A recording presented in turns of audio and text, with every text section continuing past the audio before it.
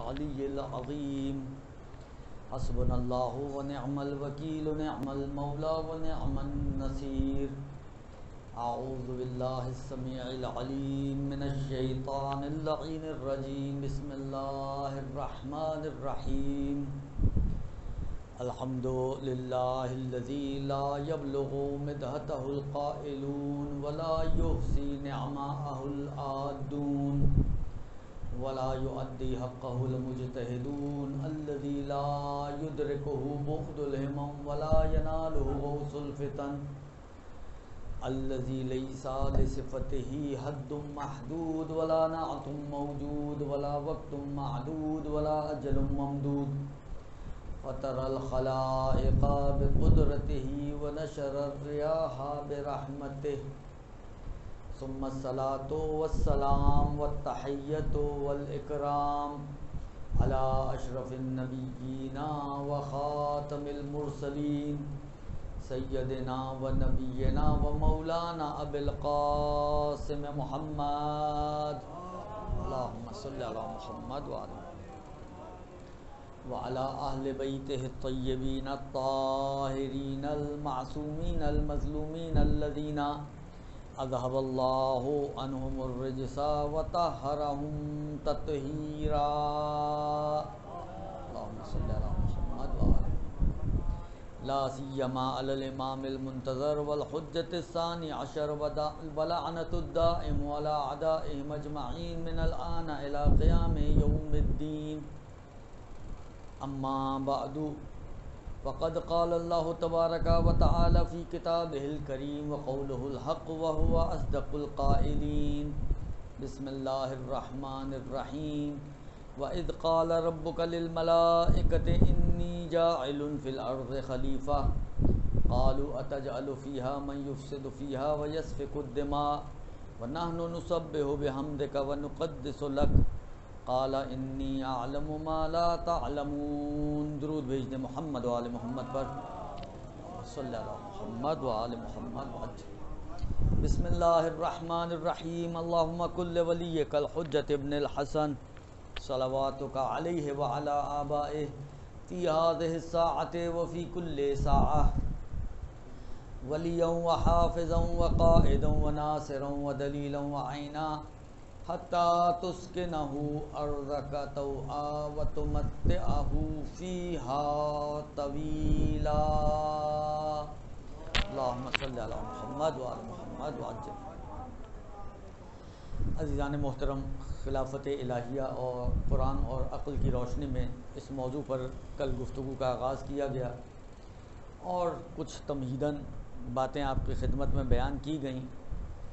और इस बात को बयान करने की कोशिश की गई कि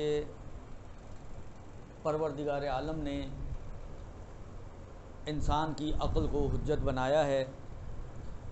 कुछ उमूर में इंसान की अक़ल बातों को दर्क करती है और अक़ल का फ़ैसला उसके लिए हजत भी करार दिया गया है ताकि जो अक़ल नतीजा निकाले, उसके फ़ैसले पर वो अमल कर सके। वरना अगर अक़ल को हजत ना बनाया गया हो अक़ल को कोई एतबार न दिया गया हो खुदा की तरफ़ से तो फिर चाहे अक़ल का फ़ैसला कुछ भी हो, वो काबिल अमल नहीं हो सकता। उस अक़ल के फ़ैसले को काबिल अमल बनाने के लिए ज़रूरी है कि अक़ल को हजत बनाया जाए। यहाँ तक कल हमारी बात पहुँची थी, और उसी से मैं आज गुफ्तु को आगे बढ़ा रहा हूँ कि अब आया अक़ल ज़रूरत इमाम या नबी। देखें, नबी और इमाम दोनों की दलीलें एक ही जैसी हैं, इसलिए कि दोनों का काम एक है। नबी दीन लेकर आता है और इमाम दीन की हिफाजत करता है। नबी दीन लेकर आता है, इमाम दीन को राइज करता है। तो क्योंकि दोनों का काम एक जैसा है, उसी दीन को आगे बढ़ाना, दीन को बयान करना, दीन की वजाहत करना। लिहाजा अगर आप अकायद के इल्म में जाकर दलीलों पे गौर करें तो आपको मिलेगा कि दोनों जगह पर एक जैसी दलीलें दी गई हैं। बल्कि, क्योंकि नबूत का मरहला पहले का है और इमामत का मरहला उसके बाद का है तो नबूत में तो बड़ी तफसील से बात की जाती है, लेकिन जब इमामत की बात आती है तो उसमें यही जुमला कहा जाता है कि नबी की जो ज़रूरत की दलीलें हैं, वही दलीलें इमाम की ज़रूरत की भी हैं। लिहाजा उसी तरीके से वो सारी दलीलें जो पीछे बयान हो चुकी हैं, सब यहाँ पर भी जारी हैं। तो आम तौर पर मुख्तसरा फिर वहाँ पर बयान किया जाता है। क्या अक्ल किसी हादी, हम हादी के हिसाब से बात करें, अब हादी वो नबी हो या हादी इमाम हो, दोनों हादी हैं। तो क्या अक्ल किसी हादी की ज़रूरत को महसूस करती है? ये सवाल है क्योंकि बात हमारी उमूमी सतह पर है, सिर्फ़ मुसलमानों से ख़िताब नहीं है। मुखातबीन, अगरचे मौजूदीन न फ़कत ये कि इस्लाम लाए हुए लोग हैं, बल्कि ईमान लाए हुए लोग हैं। लेकिन उसके बावजूद बात उमूमी सतह पर की जा रही है कि आया जो लोग इस बात के कायल हैं कि कुरान और रसूल ने बयान नहीं किया तो उनके पास कोई माकूल रास्ता है कि किसी माकूल इंसान को वो अपनी रहबरीत के लिए और अपनी इमामत के लिए चुन सकें? या रास्ता सिर्फ़ बयान खुदा और रसूल है, और खुदा और रसूल अगर बयान ना करें तो हमारे पास कोई रास्ता नहीं है, फिर रास्ता बंद है हमारा। तो देखना यह है कि आया अक्ल किसी हादी की ज़रूरत को महसूस करती है या नहीं करती है। देखें, अगर हम तारीख़ी शवाहिद के ऊपर जाएँ, अब मुझे नहीं मालूम कि तारीख़ बयान करने के ऊपर क्या नतज निकल सकते हैं, लेकिन बहरहाल कोशिश हमारी यही होती है कि इस अंदाज से बयान किया जाए कि किसी को कोई जहमत ना हो, किसी को कोई दिल शिकनी का सबब ना बने, लेकिन बिलाखिर जो तारीख़ी हक़ हैं, जो तारीख़ों में मौजूद हैं, जो किताबों में मौजूद हैं, जो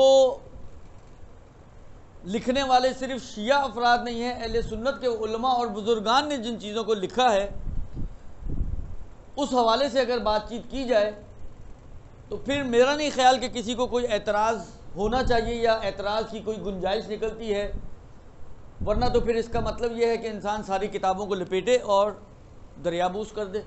इसलिए कि अगर हमने इन किताबों से कोई इस्तेफादा ही नहीं करना, अगर हम इन किताबों से फ़ायदा उठा ही नहीं सकते, इनकी बातों को कहीं नकल नहीं किया जा सकता तो फिर इतना ज़ख़ीरा इल्मी जो किताबों की शक्ल में हमारे पास मौजूद है, मैं फिर अर्ज़ कर रहा हूँ कि मैं सिर्फ़ अहले तशैयों की किताबों की बात नहीं कर रहा हूँ। तारीख़ें बल्कि अगर आप लोग माशाल्लाह जानते हैं कि तारीख़ें अक्सर अहल सुन्नत के मौरखीन से हम तक पहुँची हैं। तारीख़ों में शिया मौरखीन कम हैं, अहल सुन्नत के मौरखीन ज़्यादा हैं। और उन्होंने भी ये सारी बातें नकल की हैं। ये मसला इतना इंपॉर्टेंट है कि ये हो नहीं सकता कि एक उम्मत बगैर किसी रहबर के हो। तो ये बात इंसान की अकल के अंदर मौजूद है कि उम्मत बग़ैर रहबर के, यानी आपने कौन सा ऐसा माशरा देखा है कि जहाँ पर कोई अब मैं अब क्या उसको ताबीर करूँ वज़ी अजम कहूँ, सदर ममलिकत कहूँ? कहीं पे सदर की चलती है, कहीं पे वज़ीरों की चलती है, कहीं पे किसी की चलती है। बिलाखिर कोई रईस, कौम का कोई रईस ना हो, कोई ऐसी इस पूरे ज़मीन पर जितने भी मुल्क हैं, कोई ऐसा मुल्क है, कोई ऐसा ख़त्ता है कि जहाँ पर आप हाँ ये मुल्क ऐसा है जिसमें कोई ना सदर है, ना वज़ी अजम है, बस सब लोग अपना काम ही चलाते हैं।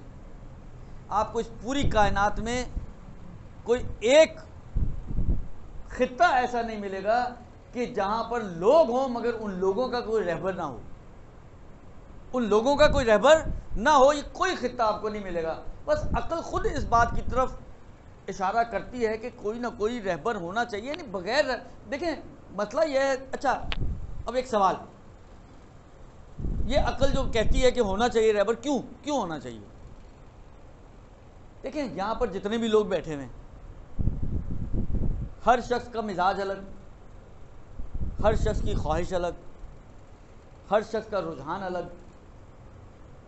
इतने मुख्तलिफ़ रुझानात वाले लोग, इतने मुख्तलिफ़ मिजाजों वाले लोग, इतनी मुख्तलिफ़ ख्वाहिशात वाले लोग, रगबतें अलग अलग ख्वाहिशात अलग अलग मिजाज अलग अलग ये कैसे एक ही लाइन पे सब चल सकते हैं? यानी आपको लगता है कि ये सब जो इतने मुख्तलिफ़ मिजाज, यानी जब एक मीटिंग होती है कहीं पर, दस आदमी बैठे हुए होते हैं, मीटिंग कर रहे होते हैं, यानी उन दस को किसी एक नुक्ते पे जमा करना बाज़ मुश्किल हो जाता है। दस को। एक नुक्ते पे जमा करना, फिर आप क्या कहते हैं? आप कहते हैं यार जो अक्सरियत की राय होगी, वो उस पर अमल किया जाएगा। फिर भी जाती है बात अक्सरियत के ऊपर। तमामियत के ऊपर बात बहुत ही शाज मवारद होते होंगे कि जहाँ पर सद दर सद अफराद मुतफिक हो जाए किसी बात पर, व अल्ला बातें जाती हैं अक्सरियत के ऊपर। एक निज़ाम है दुनिया का, वो इसी तरह फैसले करती है। तो जब एक दस आदमियों का इत्तेफाक एक नुक्ते पे नहीं हो सकता, आप कैसे मान सकते हैं कि पूरी उम्मत एक ही डगर पे चले? जो मैं सोच रहा हूँ, वही आप सोचेंगे, जो आप सोच रहे हैं, वही आप सोचेंगे, जो आप सोच रहे हैं, वही आप सोचेंगे। जो आपकी ख्वाहिश है, वो उनकी ख्वाहिश हो, जो उनकी ख्वाहिश है, वो उनकी ख्वाहिश। कैसे माकूल है? यानी अभी हमारे, हम अगर अपने मुल्क की बात करें, हुकूमत होते हुए, सरबरा होते हुए, आपको जंगल का कानून नज़र आता है। इसलिए कि हर कोई अपनी तरफ़ खेचा तानी चला रहा है। इसलिए कोई पूछने वाला नहीं। कोई रोकने वाला नहीं, कोई टोकने वाला नहीं। लेकिन जहाँ पर कोई पूछने वाला हो, कोई रोकने वाला हो, कोई टोकने वाला हो, कोई चेक एंड बैलेंस हो, वहाँ आपको कोई जंगल का कानून मिलेगा? वहाँ कभी आपको जंगल का कानून नहीं मिलेगा। तो बस अक्ल कहती है कि कोई एक होना चाहिए, इसलिए कि लोगों की ख्वाहिशात अलग अलग हैं, जज्बात अलग अलग हैं, तमन्नाएँ अलग अलग हैं, चाहतें अलग अलग हैं, मिजाज अलग अलग हैं, सोच अलग अलग है तो इन सबको कोई एक ऐसा होना चाहिए कि जो लेकर चले सबको और एक तरफ़ गाइड करे सबको। बस वही रहबर होता है। हम कहते हैं, दीन में भी इसी चीज़ की ज़रूरत है। जिस तरह एक आम माशरा बगैर इसके नहीं चल सकता तो एक दीनदार माशरा कैसे चल सकता है? दीन पहुंचेगा कैसे? एक खुदा है, कुछ चाहता है, खुदा चाहता है, वमा खलकतुल जिन्ना वल इंसा इल्ला लियाबुदून। हमने तुम्हें इबादत के लिए खर्च खल किया है। लेकिन वो खुदा बताए ना कि इबादत करनी कैसे है। वो खुदा समझाए ना कि इबादत होती क्या है। खल किया है इबादत के लिए। तरीका इबादत हमें मालूम ना हो। तो कोई तो होना चाहिए ना कि जो आके गाइड करे कि भाई वो इबादत कैसे करनी है, क्या इबादत होती है, किस तरीके से आपको इबादत अंजाम देनी है, कौन सी इबादत की क्या शराइ हैं, क्या अज्जा हैं रोज़ा कैसे रखना है, नमाज़ कैसे पढ़नी है, हज कैसे करना है कुम्स ज़क़़त कैसे देनी है, कोई तो हो जो आके बयान करे। चाहता है खुदा कि ये सब कुछ हो।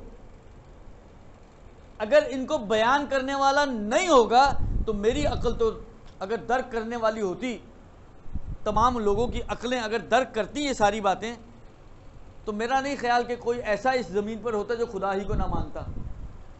कोई ऐसा इस ज़मीन पर होता कि जो खुदा का जिस्म मानने वाला होता। कोई इसलिए कि अकल दर्क कर रही है। बस अकल बहुत सी चीज़ें नहीं दर्क करती हैं। तो एक ज़रूरी है कि कोई एक ऐसा शख्स हो कि जो आकर बयान करने वाला हो कि खुदा की चाहत क्या है। खुदा हमसे क्या चाहता है? खुदा हमारी, इसलिए अगर इबादत माँगता है तो कैसे इबादत? मैं नमाज़ किसी भी रुख पढ़ लूँ? नहीं, वो आके बताएगा कि नमाज़ किबला रुख पढ़नी है। मैं बग़ैर वज़ू के नमाज़ पढ़ लूँ वो आके बताएगा कि नमाज़ वज़ू के साथ पढ़नी है।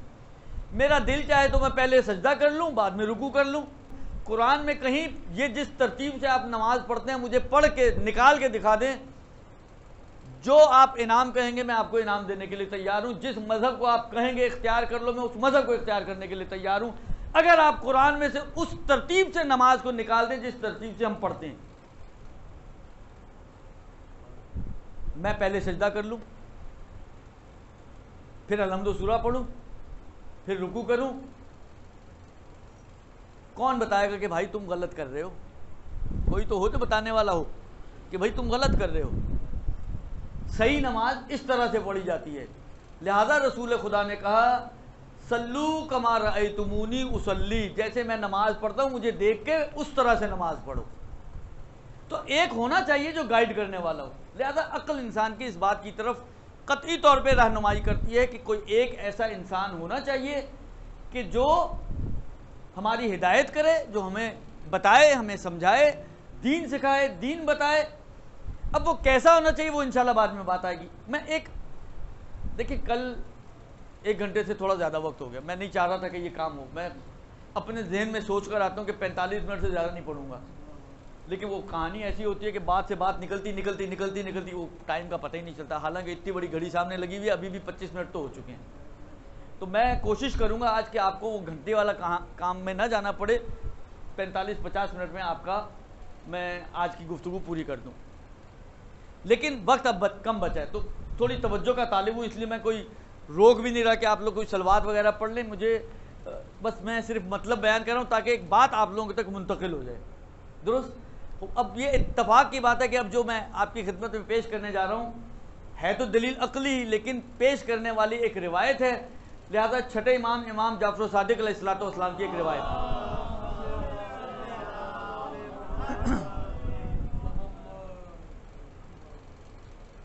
एक इमाम के बहुत ही मोतबर, बहुत ही जलील कदर सहाबी हैं हशाम इबन हकम। हशाम इल्म कलाम के माहिर, मुनाजरे के माहिर। और जब भी इमाम को किसी का कोई आता है मुनाजरे के लिए और उसका मुनाजरे का टॉपिक अकायद हो तो इमाम हमेशा हशाम को आगे बढ़ाते हैं। हालाँकि इमाम के और भी बहुत सारे तरबियत शुदा सहाबी थे मोमिन ताक थे और दूसरे अफराद थे, लेकिन इमाम जब कलामी कोई मुनाजरा होता है तो आगे जिसको बढ़ाते हैं वो हशाम है।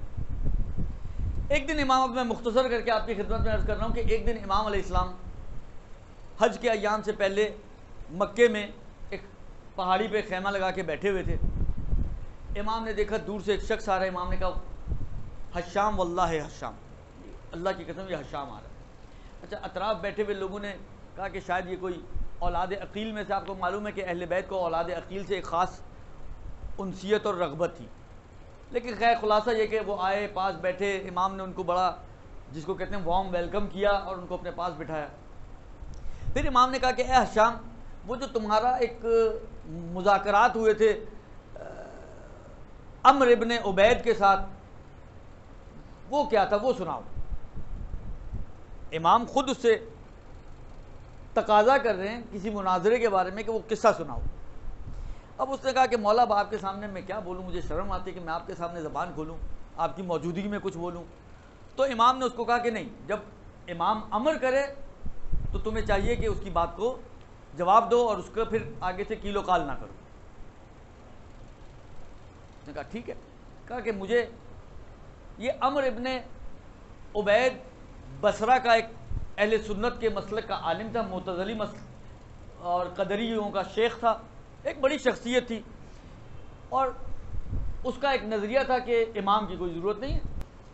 तो वो इमाम की ज़रूरत का मुनकर था।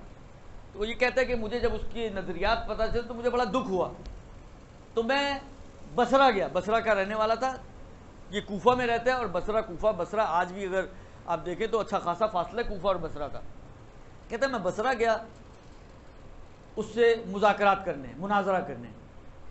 जुम्मे के दिन मैं पहुँचा और रश था, मस्जिद बड़ी भरी हुई थी और वो अपने अफराद के साथ, यानी नमाजियों के साथ बैठा हुआ, उनके सवाल के जवाब दे रहा था। कहते मैं पहुँचा, रश बहुत था, मैंने रास्ता लिया, रास्ता लेके खुलासा में मस्जिद के दरवाजे पे बैठ गया। सवाल जब चल रहे थे तो मैंने भी हाथ उठाया, कहा कि मैं अजनबी आदमी हूँ, गरीब आदमी हूँ, यानी अजनबी आदमी हूँ, सब मुसाफिर हूँ, मैं कुछ आपसे सवाल पूछना चाहता हूँ। क्या आप मुझे इजाज़त देंगे कि मैं आपसे सवाल करूँ? तवज्जो कीजिएगा। कहा कि, पूछो। अब अब ये तवज्जो करें कि ये शेखुल कदरिया वल मोतज़ला है, उस्ताद आदमी है। बड़ा, यानी एक बड़ी इल्मी शख्सियत है, अहल सुन्नत का एक बहुत बड़ा आलिम दीन है। जिस तरह समझें आजकल के जो मुफ्ती हजरात और शेख हजरात हैं, शेखुल इस्लाम उस टाइप के। एक बड़ी शख्सियत है अहल सुन्नत के उलमा की। अब ये फ़र्ज़ करें दरवाजे पे, वो वहाँ बैठा हुआ है, दरवाजे पे बैठा हुआ है। बिलाखिर जारी बात है, ऊँची आवाज़ में पूछेगा ना माइक वाइक का सिस्टम तो उस ज़माने में नहीं हुआ करता था। उसने ऊँची आवाज़ में पूछा, ये बताएँ कि आपकी आँखें हैं? अब एक फ़र्ज़ करें, आज के ज़माने में ये बच्चे जो बैठे हैं, कोई मुझसे यहाँ बैठा हुआ मैं मुझसे बोले, आपकी आँखें हैं तो मैं क्या कहूँगा उनको? ये क्या सवाल है उसने भी ये कहा, ये क्या पूछने वाली बात है? ये कोई सवाल है? कहा, बस मेरे कुछ इसी तरह के सवाल हैं, अगर आप जवाब देते हैं तो दें। नहीं दे दें तो मना कर दें। कहा अच्छा चलो पूछो चाहे अहमकाना ही सही पूछो मैं दूँगा जवाब। कहा अच्छा ये बताएँ आपकी आँखें हैं? कहाँ हैं क्या क्या करते हैं आँखों से? कहा मैं देखता हूँ रंगों को देखता हूँ लोगों को देखता हूँ पहचानता हूँ उससे कहा अच्छा ये बताएँ आपकी नाक है? कहाँ नाक भी है। क्या करते हैं उससे कहा सूंघता हूँ और खुशबू और बदबू को तशखीस देता हूँ। अच्छा ये बताएँ कान है आपका? हाँ, कान भी है। क्या करते हैं कान से? कहा, मैं कान से सुनता हूँ, आवाज़ों को सुनता हूँ। कहा अच्छा ये बताएँ कि आपकी हाथ हैं? हाथ भी हैं। हाथों से क्या करते हैं?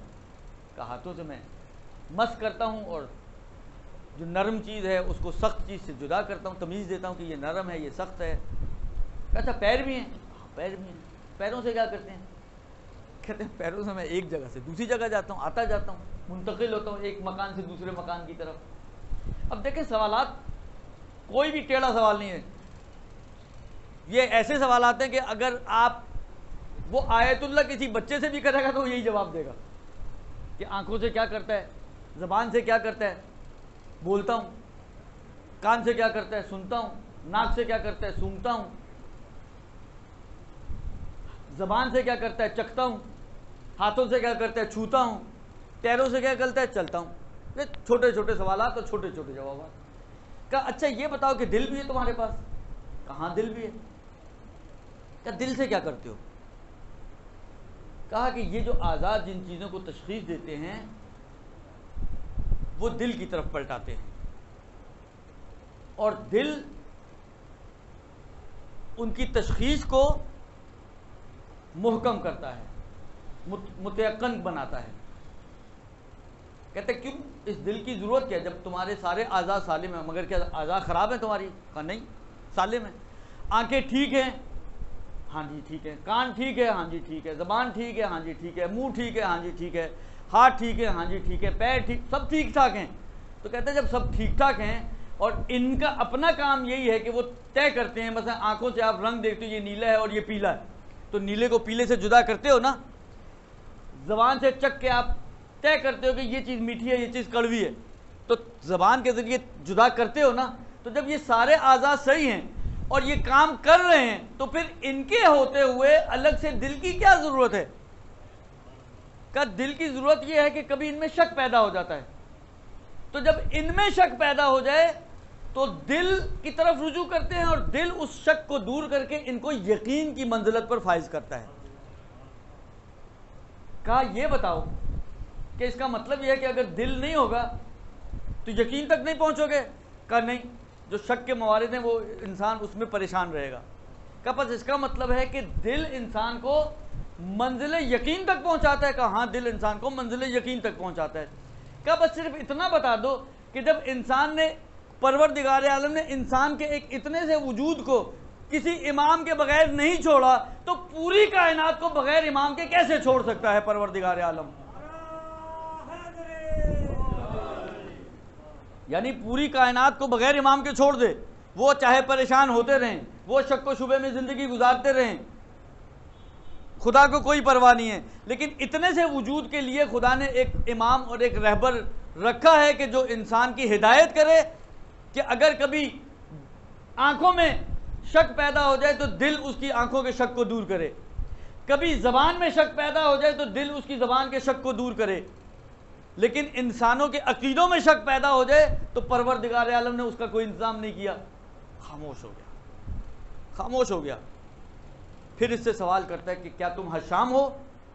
अच्छा जो नकल हुआ मैं अभी नकल कर रहा हूँ, तोजीहत के मरहले में नहीं हूँ कि ये कैसे कह दिया। हशाम ने इतना जलील कदर साहबी था तो झूठ बोला कि, सच बोला कि, मैं अभी उसमें नहीं जाना चाह रहा। अभी जो नकल हुआ वो सिर्फ़ आपकी खिदमत में पेश कर रहा हूँ। कहा कि तुम हशाम हो? वो बसरी आलिम पूछ रहा है कि तुम हशाम हो? कहा, नहीं, मैं हशाम नहीं हूँ. कहा अच्छा उसके साथ उठने बैठने वालों में से हो? कहा, नहीं, उसके साथ उठता बैठता भी नहीं हूँ. कहा, कहाँ से आए हो? कहा, कूफे से आए हो. कहा, बस तुम हशाम ही हो गए हशाम का इतना चर्चा मौजूद है कि ये भी जानता है कि अगर कोई इसको खामोश करा सकता है तो वो सिर्फ़ हशाम हो सकता है, कोई और नहीं हो सकता। कहा, बस तुम हशाम हो। उसने उसको अपने पास बुलाया, अपनी जगह पे बिठाया। हशाम कहते, जब तक मैं बैठा रहा, फिर वो नहीं बोला। वो खामोशी से सुनता रहा। फिर उसके बाद वो महफिल बर्खास्त हो गई, इमाम मुस्कुराए। कहा, तुमने ये सब कुछ कहाँ से सीखा है? कहा, मौला, आपसे सीखा है। आपकी, आपसे सीखी हुई बातें हैं जो अपनी अल्फाज में मैं लोगों तक मुंतकिल करता हूँ। छठे इमाम का जुमला ये वल्ला हाजा फ़ी सोफ़ इब्राहिम व मूसा। ये जो मतलब है, ये इब्राहिम और मूसा की किताबों में भी मौजूद है। एक दरूद भेज दें मोहम्मद वाले मोहम्मद। तो अगर इंसान अकल की कसौटी की तरफ़ जाए तो किसी की भी अकल इस बात को कबूल करने के लिए तैयार नहीं होगी कि कोई रहबर नहीं चाहिए, हतमन रहबर चाहिए। लिहाजा, अकल बहरहाल इस बात की तरफ़ हिदायत करती है कि कोई ना कोई तो होना चाहिए। जो हादी बने, जो रहबर बने, जो इमाम हो, जो लोगों की हिदायत की ज़िम्मेदारी अपनी कंधों पर उठाए और जो लोगों की हिदायत को अंजाम भी दे। ये अक्ल कतई तौर पर फैसला करती है कि होना चाहिए। जब एक इंसान परवर दिगार आलम ने एक इंसान के वजूद को बगैर रहबर के नहीं छोड़ा तो इस पूरी कायनात को बगैर रहबर के परवर दिगार आलम कैसे छोड़ सकते हैं? ये अक्ल इंसान की कबूल करने के लिए तैयार नहीं है। ये और बात है कि हम रहबर को पहचानने के बावजूद रहबर को ना माने। और ये ना कहिएगा कि ये कैसे हो सकता है कि जब मैं पहचान रहा हूँ कि ये रहबर है तो मैं क्यों नहीं मानूँगा? जो मैंने शुरू में अर्ज़ किया कि ख्वाहिशात अलग अलग हैं। इंसान के ऊपर ख्वाहिशों का कब्ज़ा है। ज़्यादा बाज़ अवत इंसान इन ख्वाहिशात का ताबे होकर हक का इनकार कर बैठता है। मगर क्या इस कायनात में ऐसे लोग मौजूद नहीं हैं जो खुदा के मुनकर हैं? है ना? जबकि खुदा का वजूद मैं एक जुमला कहा करता हूँ कि जो हमारा खमीर गूंदा गया ना, वो खुदा के वजूद और खुदा की तोहद के पानी से गूंदा गया। यानी हमारे अंदर खुदा मौजूद है, जो आपकी शहरक से ज़्यादा आपसे करीब है।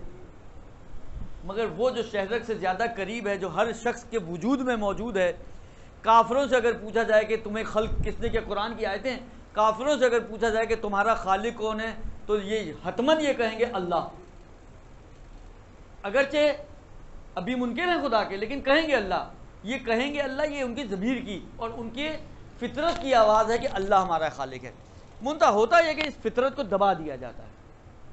तो जब फितरत दब जाए तो खुदा जैसी हस्ती लोगों के लिए मजहूल हो जाती है और लोग खुदा से दूर हो जाते हैं, खुदा से भटक जाते हैं। तो इमाम तो इमाम से भटकना तो और आसान है। इसलिए कि वो बहरहाल कम से कम हमारी फितरत के अंदर तो मौजूद नहीं है। सही है, अक्ल रहनुमाई करते लेकिन खुदा के वजूद की तरह फितरी नहीं है इमाम। लिहाजा उससे भटकना तो फिर आसान है। और इसकी मिसालें तो आपके सामने तारीख भरी हुई है। इसकी मिसालों से क्या इंसान तारीख से आपको आशनाई तो है, आप जानते हैं। मगर करबला में कौन नहीं जानता था कि ये हुसैन इबन अली फर्जंद रसूल है? अली और फातिमा का लाल है, कौन नहीं जानता था? जो वहाँ मौजूद थे तकरीबन सब जानते थे। इतनी मार्फत सबके पास मौजूद थी कि ये जो शख्स है, ये अली और फातिमा का बेटा है। फातिमा रसूल की बेटी हैं। यानी ये दोनों, ये बच्चा जो है, ये रसूल का नवासा है। ये घर वाले इसके जो है, ये ख़ानदान रसूल है, ये अहल बैत नबूत है, इसको सब मानते थे, सब जानते थे।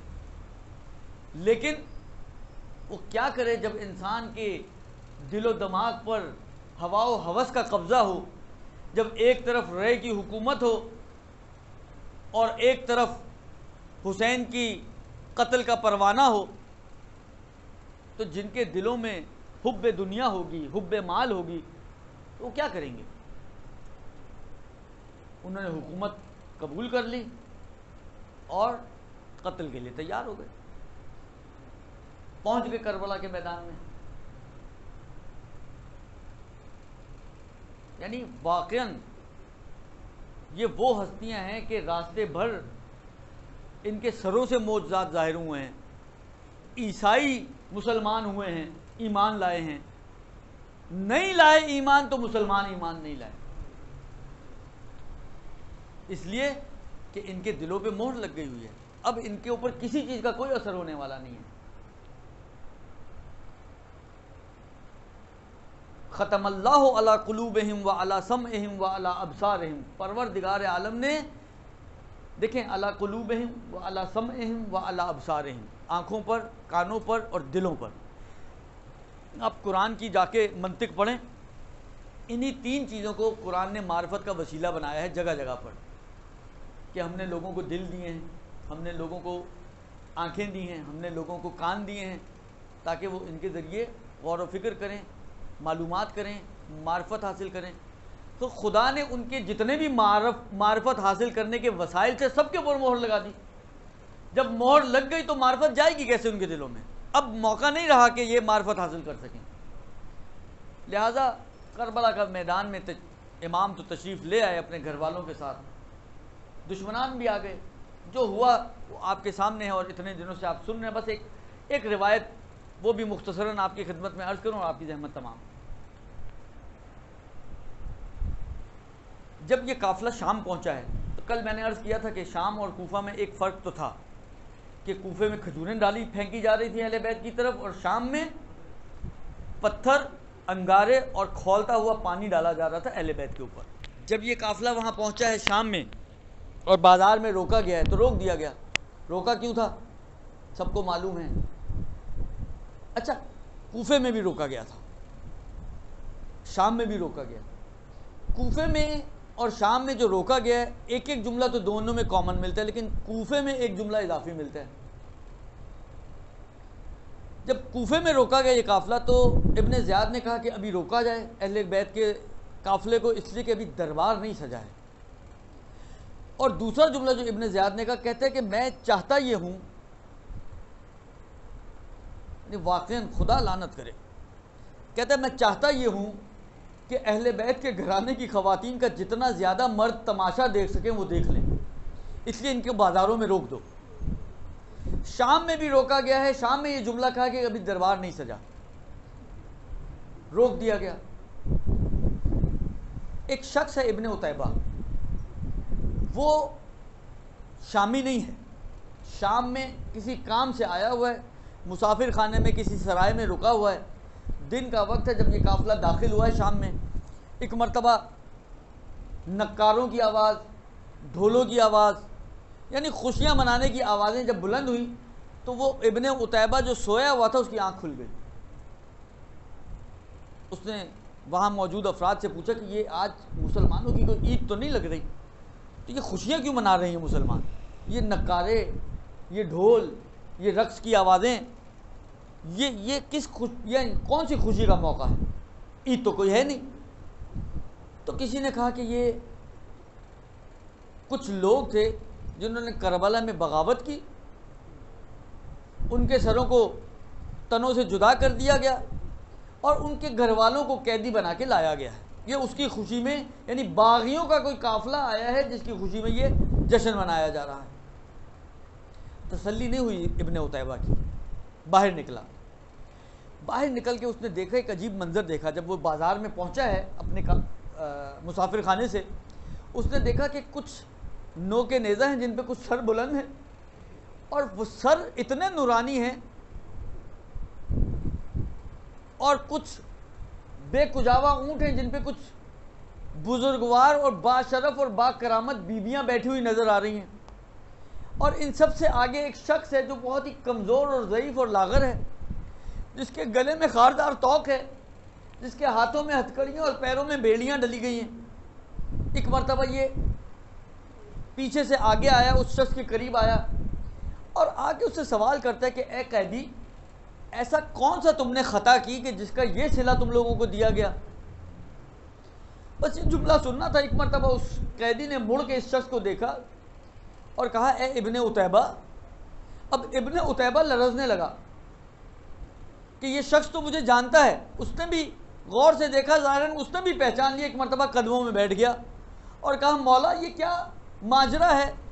एक मरतबा जब ये जुमला सुना, सज्जाद ने कहा कि, देखो, वो जो सर देख रहे हो, वो मेरे बाबा हुसैन का सर है, वो मेरे भाई अली अकबर का सर है, वो अनो मोहम्मद के सर है, वो एक एक सर का शनासाई करवाई और फिर कहा कि इब्न इब्न उतैबा कहते हैं कि, ए, मौला, मैं कोई आपकी मदद कर सकता हूँ इस मकाम पर? कहा, ये बताओ कि तुम्हारे पास पैसे कितने हैं? कहा, मौला, मेरी जेब में दो हज़ार दिरहम है। कहा, जाओ कुछ जाके चादरें खरीद के ले आओ। ये गया, हज़ार दिरहमों से चादरें लेकर आया। मौला के करीब आया। मौला ने कहा कि, जाओ ये जाके इन बीवियों को ये चादरें दे दो। इस मजमा और बलवा आम में शामियों के मजमे में ये चाहने वालों का मजमा नहीं है, ये मानने वालों का मजमा नहीं है, ये असहाब का मजमा नहीं है। आप गौर कीजिए, अली जब शहादत का मौका था, ज़रबत लगी थी, कूफे में जो लोग लेकर आए थे, जब घर के करीब पहुँच गए तो एक मरतबा अली ने कहा, बेटा हसन, इन चाहने वालों को कहो कि यहाँ से रुखसत हो जाएँ। इसलिए कि अली ये बात बर्दाश्त नहीं कर सकता कि उसकी बेटियों की आवाज़ किसी नामहरम के कानों तक जाए। मैं हाथ जोड़ के मौला की खिदमत में अर्ज़ करूँगा, मौला ये कैसे बर्दाश्त कर रहे होंगे कि आपकी बेटियाँ इस नामहरमों के मजमे में बेमकना और चादर मौजूद हैं और लोग इनका तमाशा देख रहे हैं। बस अरबाब ऐसा एक मरतबा चादरें दी बीबियाँ खुशहाल हुई होंगी, मगर ये खुशी सिर्फ़ चंद मिनटों की थी। एक मरतबा नेज़े बरदार आगे बढ़े, नो के नेज़ा के ज़रिए से बीवियों की चादरों को दोबारा छीना गया वाह हिजाबा की आवाज़ें बुलंद हुई। एक मरतबा सैयद सज्जाद ने कहा कि, ए इब्न उतैबा, एक काम करो, जो पैसे बचे हैं, इन नेज़ा बरदारों को पैसे देकर कहो, ये थोड़ा आगे चले जाए। एक मरतबा सज्जाद के, इब्ने उतैबा कहते हैं, मौला, इसकी वजह का, इसकी वजह यह है कि भीड़ बढ़ती जा रही है। अरे, कोई शरीफ ज़्यादा इस बात को बर्दाश्त नहीं करता कि उसकी माए, बहनें नामहरमों के दरमियान इस अंदाज से मौजूद हों। इनको कहो, थोड़ा आगे चले जाएँ। बस अरबाब आजा, एक मरतबा इब्ने उतैबा ने उन लोगों से कहा, कुछ लोग पैसे लेकर आगे चले गए, कुछ लोग बोलने से आगे चले गए। एक मरतबा इब्ने उतैबा ने एक मंजर देखा, एक शामी को देखा, जो अपने दामन में कुछ पत्थर लिए घूम रहा है। उसने एक पत्थर उठाया, अरे इस पत्थर से हुसैन के सर का निशाना लिया, अरे मेरे मौला के सर पे पत्थर मारा, जो मेरे मौला के सर को पत्थर मारा। अब इबन उतैबा से बर्दाश्त ना हो सका। एक मरतबा तलवार निकाली तलवार निकाल के जिहाद करना चाहते थे।